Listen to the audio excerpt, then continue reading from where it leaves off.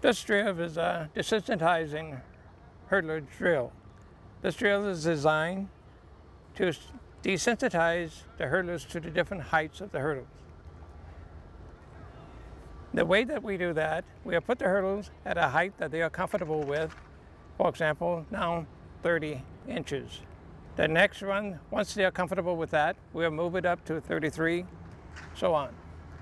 Then we'll move them all up to 33 so that the athlete would be comfortable executing.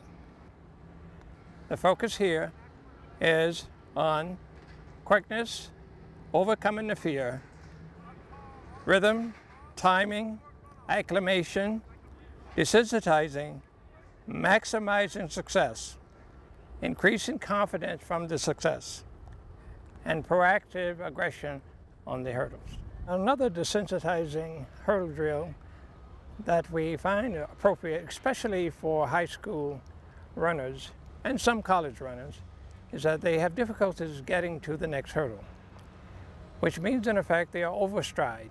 In order to prevent this, we have to acclimate them to the three steps in a comfortable fashion.